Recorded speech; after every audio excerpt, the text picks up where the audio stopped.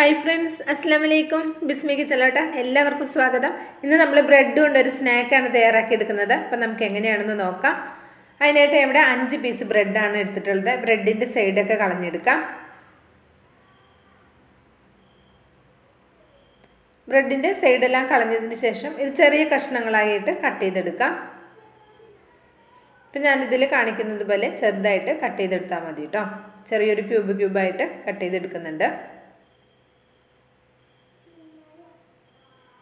അപ്പോൾ അത് ഈ ഒരു രീതിയിലാണ് ഞാനിവിടെ കട്ട് ചെയ്തെടുത്തിട്ടുള്ളത്.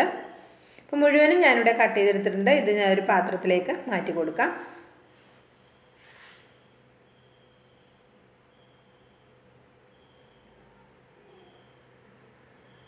ഇനി ഞാൻ ഇതിലേക്ക് ചേർത്ത് കൊടുക്കുന്നത് ഇരുന്നൂറ്റമ്പത് എം എല്ലിന്റെ കപ്പിൽ ഒരു കപ്പ് പാലാണ് ചേർത്ത് കൊടുക്കുന്നത്. തിളപ്പിക്കാത്ത പാലാണ് കേട്ടോ ഞാൻ എടുത്തിട്ടുള്ളത്. തിളപ്പിച്ച പാലാണെങ്കിലും ഒരു കുഴപ്പവുമില്ല. പാൽ നമ്മൾ ബ്രെഡിലേക്ക് ചേർത്തതിന് ശേഷം നന്നായിട്ടൊന്ന് ഇതേപോലെ ഒന്ന് മിക്സ് ചെയ്ത് കൊടുക്കുക. ബ്രെഡിന്റെ എല്ലാ ഭാഗത്തും പാലെത്തുന്ന രീതിയിൽ ഒന്ന് ആക്കി കൊടുക്കുക കേട്ടോ. പിന്നെ ഇതേപോലെ ഒരു പാൻ എടുപ്പത്ത് വെച്ച് കൊടുക്കാം. ഇതിലേക്ക് ഒരു രണ്ട് ടേബിൾ സ്പൂണോളം വരുന്ന നെയ്യ് ചേർത്ത് കൊടുക്കാം. ഇനി ഇതിലേക്ക് ഞാൻ ചേർത്ത് കൊടുക്കുന്നത് അണ്ടിപ്പരിപ്പാണ് ചേർത്ത് കൊടുക്കുന്നത്. നമ്മുടെ കയ്യിലുള്ളതിനനുസരിച്ച് ചേർത്ത് കൊടുക്കാം. ഞാനൊരു എട്ടെണ്ണോളം വന്ന് എടുത്തിട്ട് ഒന്ന് കട്ട് ചെയ്ത് ചേർത്ത് കൊടുത്തിട്ടുണ്ട്. അതൊരു പകുതി ഭാഗം ഒന്ന് മൂത്ത് വരുമ്പോൾ കുറച്ച് മുന്തിരി കൂടി ചേർത്ത് കൊടുക്കാം. കിസ്മിസ് കൂടെ ചേർത്തിട്ട് അത് രണ്ടും കൂടി നന്നായിട്ടൊന്ന് മൂത്ത് വരുമ്പോൾ ഒരു പാത്രത്തിലേക്ക് കോരി മാറ്റാം. ഇനി ഇതേ നെയ്യിലേക്ക് തന്നെയാണ് ഞാൻ ഇരുന്നൂറ്റി അമ്പത് എം എല്ലിന്റെ കപ്പിൽ ഒരു മുക്കാൽ കപ്പോളം തേങ്ങ എടുത്തിട്ടുണ്ട്.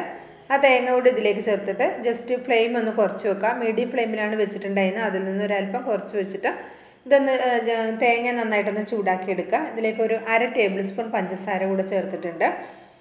എന്നിട്ട് ഇതെല്ലാം കൂടി ഒരു മീഡിയം ഫ്ലെയിമിൽ നിന്ന് ഒരു അല്പം കുറച്ച് വെച്ചിട്ട് ഇതേപോലെ ഒരു കളർ ചേഞ്ച് ആവുന്ന സമയത്ത് നമുക്കിത് ഫ്ലെയിം ഓഫ് ആക്കാവുന്നതാണ്. എന്നിട്ട് നമ്മൾ അണ്ടിപ്പരിപ്പ് മുന്തിരിയൊക്കെ വറുത്തത് ഈ തേങ്ങയിലേക്ക് ഇട്ട് കൊടുക്കുക.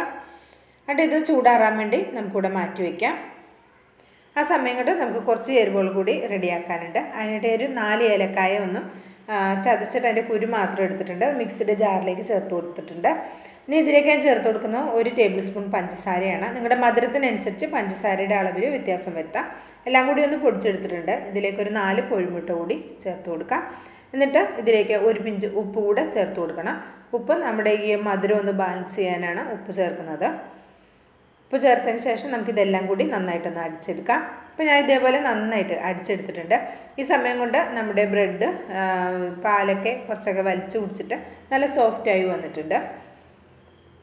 കണ്ടോ? നല്ല സോഫ്റ്റായി വന്നിട്ടുണ്ട്. ഇനി നമ്മളിവിടെ അടിച്ചു വെച്ചിട്ടുള്ള മുട്ടയുടെ കൂട്ട് ഈ ബ്രെഡിലേക്ക് ഒഴിച്ചു കൊടുക്കാം.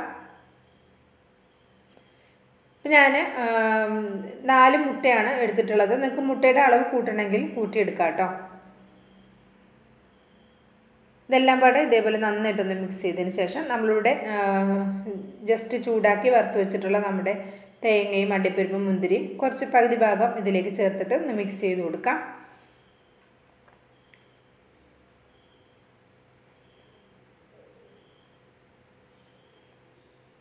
ഇത്രയും മതി. ഇത്രയും മിക്സ് ചെയ്താൽ മാത്രം മതിയാകും. ഇനി ഇതേപോലെ ഒരു പാൻ എടുത്ത് വെച്ചിട്ടുണ്ട്. ഇനി ഇതിലേക്ക് ഒരല്പം നെയ്യാക്കി കൊടുക്കാം ഫ്ലെയിം ലോയിൽ തന്നെ വെച്ചിട്ട് ആദ്യം മുതൽ അവസാനം വരെ ലോയിൽ തന്നെ വെച്ച് ചെയ്യാൻ മറക്കരുത്. ഫ്ലെയിം കൂട്ടിയിട്ടിട്ട് പാത്രം നന്നാക്കി ചൂടാക്കരുത് കേട്ടോ അപ്പോൾ പിന്നെ നമ്മൾ ബ്രെഡൊക്കെ ഉപയോഗിക്കുന്നത് കൊണ്ട് തന്നെ പെട്ടെന്ന് അടിഭാഗം കരിഞ്ഞു പോകും. അത് വരാതിരിക്കാൻ ഈ പാത്രം ചൂടാക്കുന്നത് തന്നെ ലോ ഫ്ലെയിമിൽ തന്നെ വെച്ചിട്ട് ചൂടാക്കിയാൽ മതി. ലോ ഫ്ലെയിമിൽ ഫ്ലെയിം ഓണാക്കി ലോ ഫ്ലെയിമിൽ വെച്ചിട്ട് പാത്രം വെച്ചിട്ട് അപ്പോൾ തന്നെ ഇതേപോലെ നമ്മളിവിടെ റെഡിയാക്കി വെച്ചിട്ടുള്ള കൂട്ടം ഇതിലേക്ക് ഒഴിച്ചു കൊടുക്കാം. ഒരല്പം നെയ്യ് ഒരു ടേബിൾ സ്പൂണിന്റെ അടുത്ത് മാത്രമേ നെയ്യ് ഞാൻ ആക്കി കൊടുത്തിട്ടുള്ളൂ. എന്നിട്ട് നമ്മുടെ ഈ കൂട്ട ഇതിലേക്ക് ഒഴിച്ചു കൊടുത്തതിന് ശേഷം ബാക്കി തേങ്ങയും അണ്ടിപ്പരിപ്പും മുന്തിരി നമ്മൾ വറുത്ത് വെച്ചത് ഇതിന്റെ മുകളിലേക്ക് ഒന്ന് ആക്കി കൊടുക്കാം. വളരെ സിമ്പിളായിട്ട് നമ്മുടെ വീട്ടിലുള്ള സാധാരണ ചേരുവകൾ വെച്ചിട്ട് പെട്ടെന്ന് തയ്യാറാക്കി എടുക്കാവുന്ന നല്ലൊരു അടിപൊളി പോളയുടെ റെസിപ്പിയാണ്. നമുക്കിതൊരു ഈവനിങ് സ്നാക്കായിട്ട് ഉപയോഗിക്കാം. പത്ത് മണിക്ക് കുട്ടികൾ സ്കൂളിൽ പോകുന്ന സമയത്ത് അവർക്ക് വേണമെങ്കിലും കൊടുത്തയക്കാം. ഒരു അഞ്ച് മിനിറ്റ് കൊണ്ട് തന്നെ നമുക്കൊരു ഭാഗം റെഡി ആയിട്ടുണ്ട്. മുഴുവനും റെഡി ആയിട്ടുണ്ട്. ഇപ്പുറത്തെ ഭാഗം ഒന്ന് കൂടി ഒന്ന് മുരിഞ്ഞു വരാൻ വേണ്ടി ഒന്ന് ഞാൻ ഇതേപോലെ തിരിച്ചിട്ട് കൊടുക്കുന്നുണ്ട്. നല്ല സോഫ്റ്റ് ആയിട്ടുള്ള ഒരു സ്നാക്ക് കൂടിയാണ്. ഇനി നമ്മൾ അടച്ചു വെക്കുകയൊന്നും വേണ്ട. ഒരു ഒരു മിനിറ്റോളം മാത്രം ലോ ഫ്ലെയിമിൽ ഇങ്ങനെ വെച്ചതിന് ശേഷം നമുക്കൊരു പാത്രത്തിലേക്ക് കൗത്തിയെടുക്കാം